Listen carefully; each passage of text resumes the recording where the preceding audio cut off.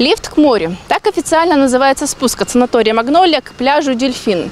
Но среди одесситов за ним закрепилось более красочное наименование – «Сказочный тоннель». Надо признать, это прозвище он оправдывает полностью. Очень быстро этот спуск приобрел статус настоящей туристической достопримечательности.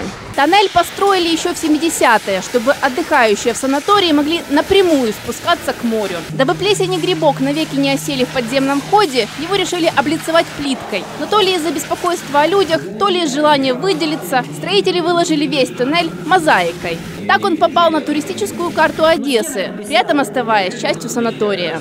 После того, как э, стройгидравлика фактически была обанкрочена э, путем э, рейдерского нападения на данный объект, фактически э, финансирование сказочного туннеля прекратилось, он был закрыт. И понимая о том, что э, лифтовое хозяйство требует постоянного ухода, обновления и соблюдения мер безопасности, в том числе прохождения э, своевременного осмотра, он был закрыт для того, чтобы не представлял угрозы для одесситов. Спелеолог Владислав Масленко – один из последних, кто видел красоты туннеля. Он осенью 2013 года по демонтированной лестнице спускался под землю, сняв теперь уже раритетные кадры. Тогда это была просто рабочая экспедиция. Но теперь Владислав понимает, это видео дорогого стоит. Задача была проверить техническое состояние объекта, не повлияет ли постройка домов на поверхности э, на состояние этого объекта, и опять же объект на состояние домов на поверхности. Мы дали заключение, что все в порядке, и техническое состояние объекта на тот момент было абсолютно хорошим, и можно было дальше пользоваться.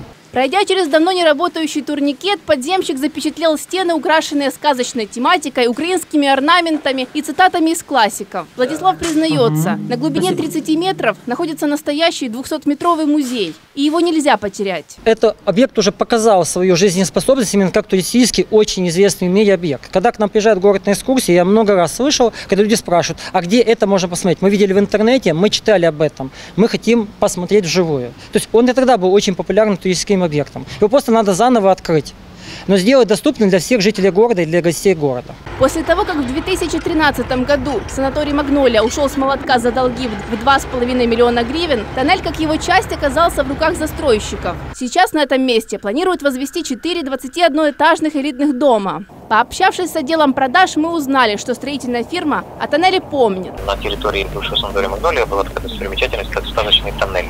Так вот, мы его сохраним, и одной из фишек нашего комплекса будет то, что лифт нашего комплекса будет опускаться к сказочному тоннелю, и вы по прохладе через эти шедевры искусства мозаичного будете выходить к морю. Консультант нас заверил, к 2020 году, когда возведут все секции, откроют и тоннель. Но будут ли туда пускать не только жильцов комплекса, неизвестно. Да и почему так долго будут открывать двери в сказочный тоннель, тоже осталось невыясненным. А пока что судьба сказочного тоннеля остается невыясненной. Что из него сделать? Ресторан, лифт к морю или же запустить туристические экскурсии? Вариантов очень много.